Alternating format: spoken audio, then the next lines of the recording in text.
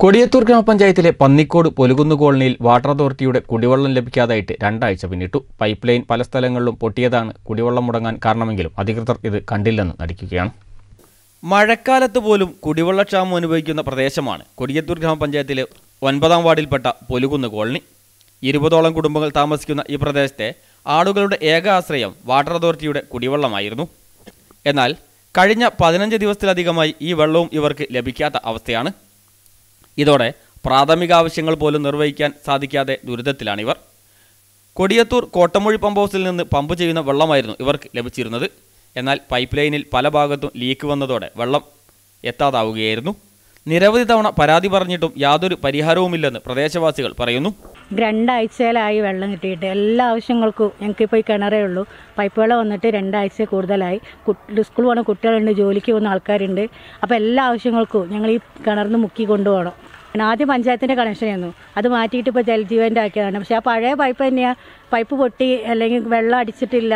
Tank ഫുള്ളാണ്. Pipe പിന്നെ പൈപ്പിൽ പൊട്ടി എന്നാണ് ഞങ്ങൾ വിളിക്കുമ്പോൾ ഒരു വെള്ളം അടിക്കാൻ വിളിക്കുമ്പോൾ പറയുന്നത്.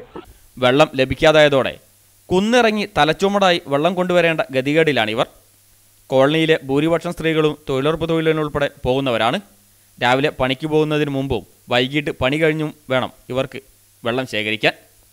ഇത്തരത്തിൽ ദുരിതത്തിലായ തങ്ങൾക്ക് എത്രയും പെട്ടെന്ന് പ്രശ്നപരിഹാരം വേണമെന്നാണ് ഇവർ ആവശ്യപ്പെടുന്നത്.